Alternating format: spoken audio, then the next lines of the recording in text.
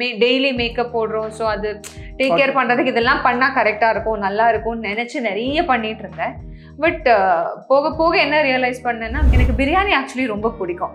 But it's it's too much biryani வந்து? ஆ ஒன்றே போதும். ஸோ அதனால என்ன பண்ணுவேன்னா ஒரு வாரம் ஃபுல்லாக டயட் ப்ராப்பர் டயட்லாம் ஃபாலோ பண்ணிட்டு ஹெல்தி டயட்லாம் ஃபாலோ பண்ணிட்டு ஒரு சண்டே மட்டும் நல்லா கேரளானாலே வந்து வி மேக் தட் வீட்லேயே அந்த ஆயில் நிறைய இந்த ஆயுர்வேதிக் இதெல்லாம் பண்ணி ஆயில் செய்வாங்க. வீட்டில் வீட்லேயே அம்மா செய்வாங்க. பாட்டில் பாட்டிலாக இருக்கும் ஷெல்ஃபில் பார்த்தா எல்லாமே.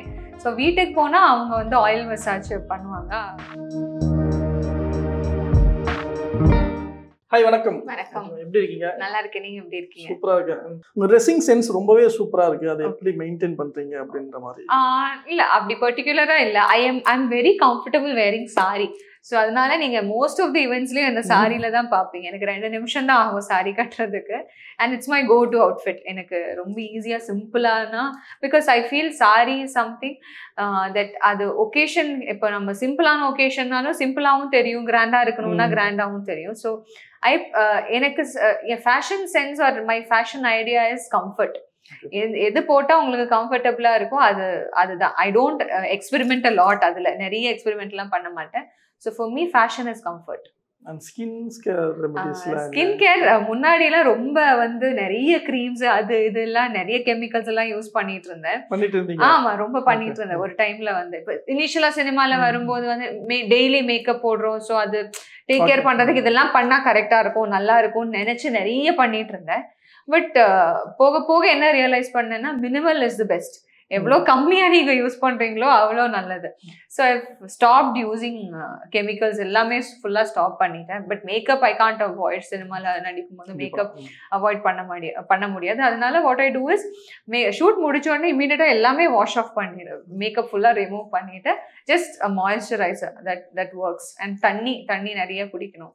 டயட் ரொட்டீன் டயட் டயட் வந்து I try to avoid carbs நிறைய நிறைய கார்ப்ஸ் வந்து you need carbs body carbs கண்டிப்பா தேவைதான். எல்லாமே தேவைதான். கார்ப்ஸ் ப்ரோட்டீன் ஃபேட் எல்லாமே தேவைதான். பட் மேக்ஸிமம் வந்து கார்ப்ஸ் அவாய்ட் பண்ண ட்ரை பண்ணுவேன் மேக்ஸிமம் அண்ட் ப்ரோட்டீன் கொஞ்சம் டெய்லி ப்ரோட்டீன் கொஞ்சம் எடுத்து எடுத்துப்பேன். வெஜிடபிள்ஸ் தண்ணி அண்ட் நிறைய வந்து ஸ்பைசியான ஃபுட்லாம் மேக்ஸிமம் அவாய்ட் பண்ணுவேன். எனக்கு ஆமா.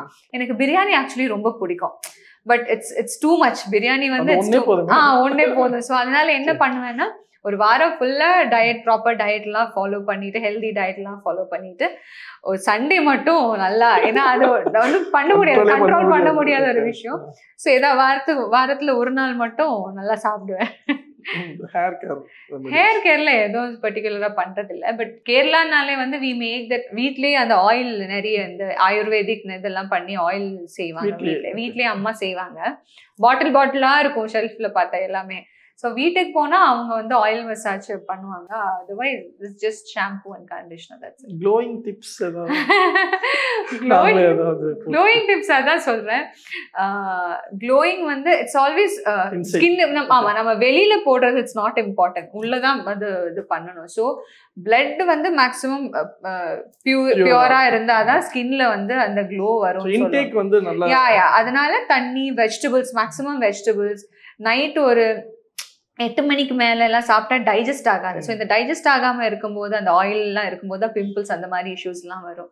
ஸோ ஒரு ஏழு மணி எட்டு மணிக்கு மேல மேக்ஸிமம் சாலிட் ஃபுட் அவாய்ட் பண்ணலாம். ஸோ ஈட் ஹெல்தி ஸ்கின் வந்து ஹெல்தியா இருக்கும்.